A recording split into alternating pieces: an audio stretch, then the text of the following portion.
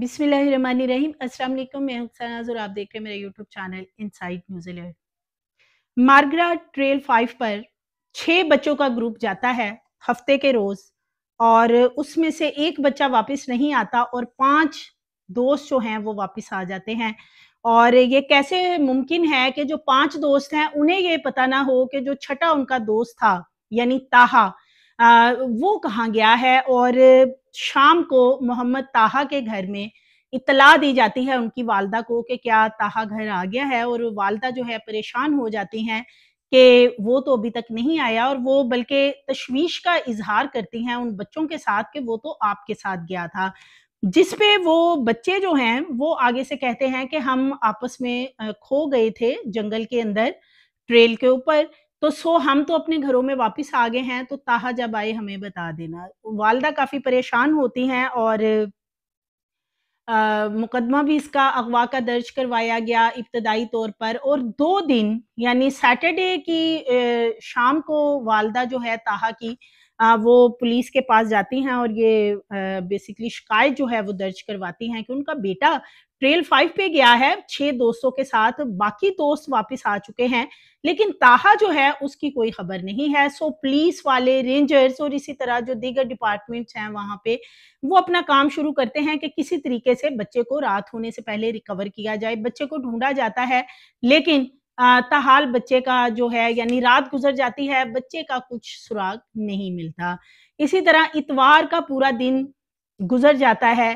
اور رات گئے تک آپریشن جاری رہتا ہے ٹریل فائیو پر، لیکن تاہا کا کچھ پتہ نہیں چلتا۔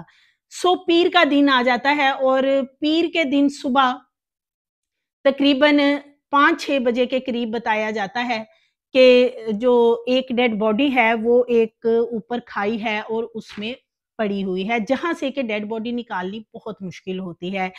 جب وہ ڈیڈ باڈی تاہا کے ماموں کو دکھائی جاتی ہے اوپر لے جا کے، تو وہ شناخت کر لیتے ہیں کہ یہ تاہا ہی ہے۔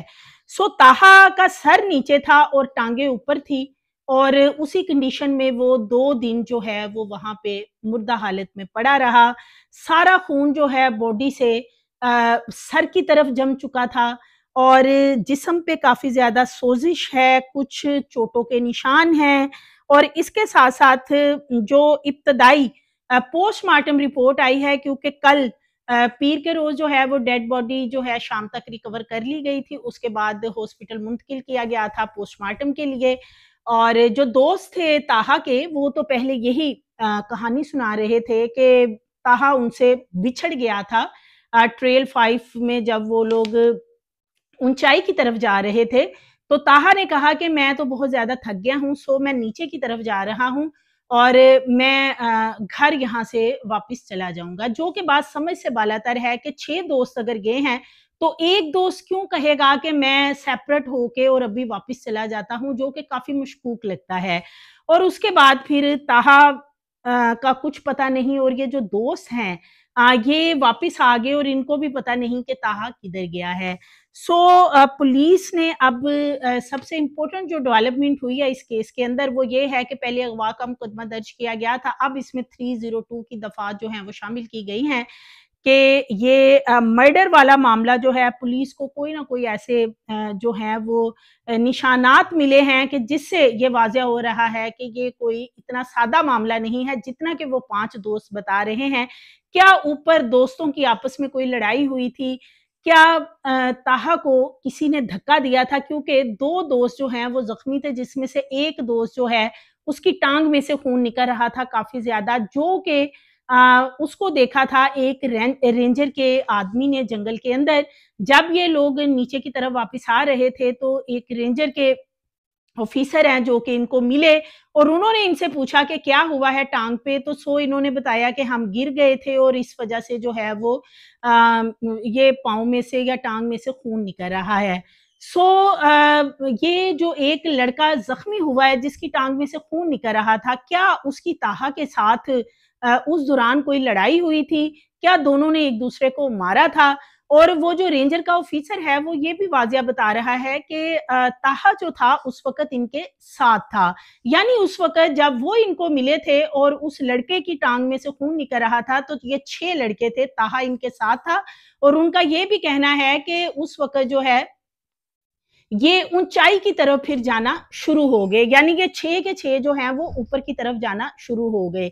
سو لڑکے جو ہیں یعنی دوست دوست بیانات کو چھوڑ دے رہے ہیں، لیکن جو لوگ ان کو جنگل میں ملے ہیں ایک دو، وہ اپنی جو سٹیٹمنٹ دے رہے ہیں، وہ بالکل اس کے برعکس ہے، جس سے لگتا ہے کہ کوئی نہ کوئی دال میں کالا ضرور ہے، اور یہ اتنا سادہ معاملہ نہیں ہے جتنا بتایا جا رہا ہے کہ محض یہ ایک ٹانگ پھسلی اس بچے کی اور وہ نیچے گرا اور اس کی ڈیتھ ہوگی۔ ایسا نہیں لگ رہا۔ کیونکہ جو لڑکا زخمی تھا، اس کو کس نے زخمی کیا تھا؟ یہ بھی اب انویسٹیگیشن کی جا رہی ہے اور پولیس نے شاید کچھ چیزیں ایسی پولیس کے ہاتھ لگ گئی ہیں کہ اس میں 302 کی سیکشن جو ہے وہ اسی لیے شامل کی گئی ہیں کہ پروپر اس کو انویسٹیگیٹ کیا جائے اور پولیس کا ایک اپنا طریقہ ہوتا ہے انویسٹیگیشن کرنے کا۔ یہ پانچ دوست جو ہیں انہیں اکٹھا بٹھا کر انویسٹیگیٹ نہیں کیا جائے گا، سب کو علیحدہ علیحدہ انویسٹیگیٹ کیا جائے گا اور کراس کوشچننگ کی جائے گی۔ اور پولیس کی جو انویسٹیگیشن ہوتی ہے، جب وہ ایک سے انویسٹیگیٹ کر رہے ہوتے ہیں تو دوسرے کے بارے میں بتاتے ہیں کہ اس نے تو یہ جواب دیا تھا۔ دوسرے سے بات کر رہے ہوتے ہیں تو تیسرے سے کہتے ہیں کہ وہ پہلے نے تو یہ جواب دیا تھا۔ سو اس لیے پولیس کو لگ رہا ہے کہ کوئی نہ کوئی معاملہ ضرور ہوا ہے جس کی وجہ سے تاہا جو ہے، اس کی ہلاکت ہوئی ہے۔ سو، موبائل لوکیشن کے حوالے سے کل بات ہو رہی تھی کہ تاہا کی جو موبائل لوکیشن ہے دو دن یعنی سیٹرڈے اور سنڈے کے روز، دو دن موبائل لوکیشن جو ہے، وہ راول پنڈی کی آتی رہی۔ چونکہ جو تاہا تھا، وہ راول پنڈی کا رہائشی تھا اور وہ راول پنڈی سے گیا تھا ٹریل فائیو کی لیے۔ تو سو سب یہی سمجھ رہے تھے کہ شاید وہ زندہ ہے اور راول پنڈی میں کسی جگہ کے پہ موجود ہے، اسی لیے اغوا کا مقدمہ درج کروایا گیا تھا۔ لیکن جب ڈیڈ باڈی کو ریکور کیا گیا ہے، تو ڈیڈ باڈی کے قریب سے جو چیزیں ملی ہیں، تو اس میں موبائل فون بھی تھا۔ اور اس کے ساتھ ساتھ تاہا کی کچھ اور چیزیں، ایک بیگ تھا، پانی کی بوٹل جو کہ خالی ملی ہے، وہ تھی۔ اور تاہا جو ہے، اس کی ٹانگیں اوپر اور سر اس کا نیچے تھا، اور اس طریقے سے وہ وہاں پہ گرا، مردہ حالت میں پایا گیا۔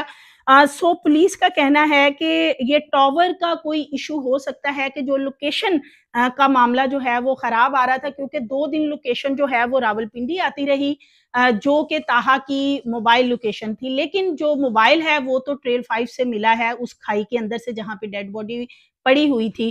سو اس کو بھی چیک کیا جانا ضروری ہے۔ پہلے یہ سمجھا جا رہا تھا کہ کیا راول پنڈی میں کسی جگہ پہ اس کو مارا گیا اور اس کے بعد اس کو وہاں جا کے پھینک دیا گیا۔ سو پولیس جو ہے ان ساری چیزوں کو دیکھے گی۔ مختلف زاویوں سے انویسٹیگیشن اس کی کی جا رہی ہے اور اس کے ساتھ ساتھ یہ جو رینجرز کے ایک دو لوگ ہیں جو ان کو رستے میں ملے تھے، ان بچوں کو، یہ جو چھ یعنی بچے تھے اور پھر تاہا واپس نہیں آیا۔ تو بچے کہتے ہیں، باقی پانچ سٹوڈنٹس کہہ رہے ہیں کہ تاہا ہم سے پہلے ہی علیحدہ ہو گیا تھا۔ لیکن رینجر اہلکار بتا رہا ہے کہ جب اس نے ان ان کو دیکھا تھا اور یہ اونچائی کی طرف چڑھ رہے تھے تو اس وقت تاہا بھی ان کے ساتھ موجود تھا۔ سو یہ والا وہ جھوٹ کیوں بول رہے ہیں؟ اس کو بھی انٹیروگیٹ کیا جائے گا۔ اس کے ساتھ ساتھ جو دوست کہانیاں بنا کے بتا رہے ہیں اور پانچوں نے ایک ہی رٹا لگایا ہوا ہے کہ ہم گم ہو گئے تھے اور ہمیں نہیں پتا کہ تاہا کہاں گیا ہے، تو سو رینجر اہلکار نے ایک تو بھانڈا پھوڑ دیا ان کا کہ تاہا ان کے بیسکلی ساتھ تھا اور اوپر جو ہے وہ ان کے ساتھ ہی گیا تھا۔ اور اس کے ساتھ ساتھ جو باڈی کی صورتحال ہے، جو ابتدائی پوسٹ مارٹم رپورٹ آئی ہے وہ میں تھوڑی آپ سے شیئر کر دیتی ہوں کہ سر میں چوٹ کے حوالے سے جو ہے وہ نشانات ملے ہیں کہ جیسے تاہا کے سر میں جو ہے وہ کوئی چیز ماری گئی ہے۔ اور اس کے ساتھ ساتھ باڈی کے اوپر مختلف خراشوں کے چوٹوں کے نشانات موجود ہیں۔ اب یہ کس طرح کی چوٹیں ہیں اور کس نوعیت کی چوٹیں ہیں، یہ ایک کمپریہنسو جو پوسٹ مارٹم رپورٹ انشاءاللہ کل تک آ جائے گی اور وہ بھی میں نیکسٹ ویڈیو میں آپ سے شیئر کروں گی۔ تو یہ چیزیں جو ہیں، وہ ساری سامنے آ جائیں گی کہ بیسکلی یہ خراشیں اور چوٹیں جو ہیں، یہ کس نوعیت کی ہیں اور یہ کس طرح سے لگی ہیں، یہ ساری چیزیں جو ہیں سامنے آ جائیں گی اور اس کے ساتھ ساتھ ساتھ دوستوں کے درمیان جھگڑا ہوا اور اس دوران تاہا کو کسی نے دھکا دیا اور تاہا جا کے کھائی میں گرا۔ یہ بات جو ہے اس کو بھی جھٹلایا نہیں جا سکتا۔ کیونکہ ظاہر ہے وہ کم عمر بچے تھے، سارے ہی پندرہ سے سولہ سال کے درمیان ان چھ دوستوں کی جو ہیں وہ عمریں تھیں۔ وہاں پہ کوئی ان کی آپس میں لڑائی جھگڑا ہو گیا ہو، جیسے کہ ایک اور لڑکے کے جو گروپ میں شامل تھا، پاؤں میں سے خون بھی نکل رہا تھا، جو کہ رینجر اہلکار نے بھی دیکھا تھا۔ سو ان کی آپس میں کوئی لڑائی جھگڑا اور اس دوران ہاتھا پائی ہوئی ہو اور جو تاہا تھا، اس کو دھکا دے کے نیچے گرا دیا گیا ہو۔ ان تمام زاویوں کے اوپر پولیس کا کہنا ہے کہ انویسٹیگیشن کی جا رہی ہے۔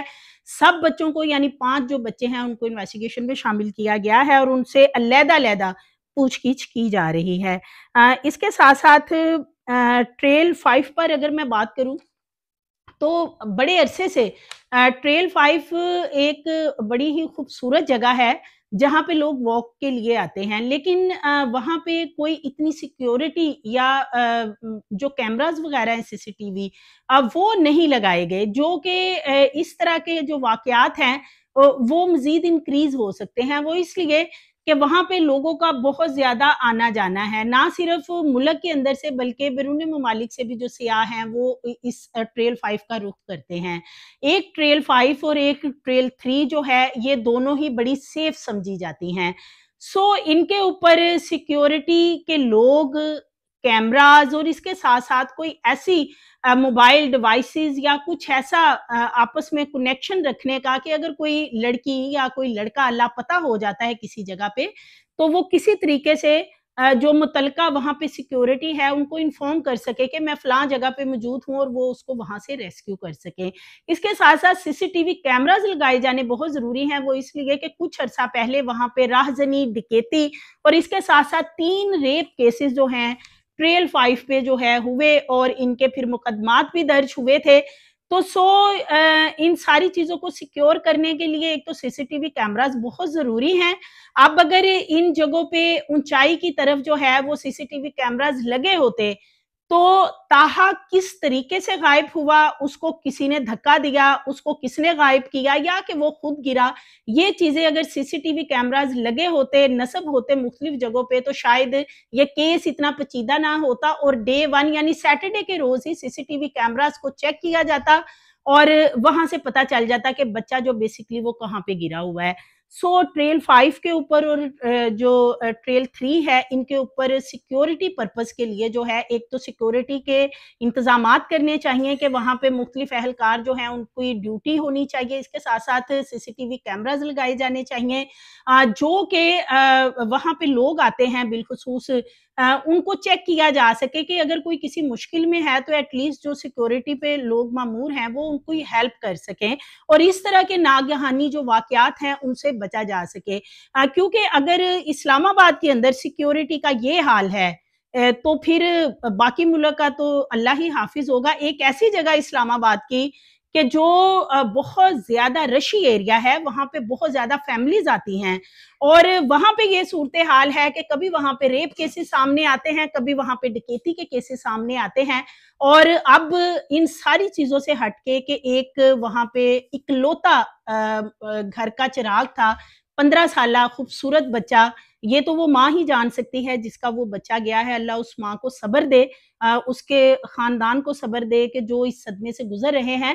سو ان ساری چیزوں کے لیے حکومت کو بالخصوص جو ہے وہ فوری طور پہ کوئی سیکورٹی پرپس کے لیے جو ہے وہ باقاعدہ میٹنگ کرنی چاہیے اور اس پہ امپلیمنٹ کرنا چاہیے تاکہ مزید اس طرح کے واقعات نہ ہوں۔ کیونکہ ہمارے ہاں تھوڑی یہ چیزیں ہوتی ہیں کہ کسی جگہ پہ اگر کوئی ایسا واقعہ ہو گیا ہے تو پھر لوگ جو ہیں، لوگوں کو اس طرح کے جگہ چاہیے ہوتی ہیں کہ وہ وہاں پہ کرائم کر سکیں۔ تو ان چیزوں کو سیکیور کرنے کے لیے جو ہے، یہ بہت ضروری ہے۔ باقی تاہا کا جو کیس ہے یہ اتنا سادہ کیس نہیں ہے جتنا کہ اس کے جو ساتھی گروپ کے پانچ لوگ بتا رہے ہیں کہ تاہا ہم سے بچھڑ گیا اور ہمیں نہیں پتا وہ کہاں گیا۔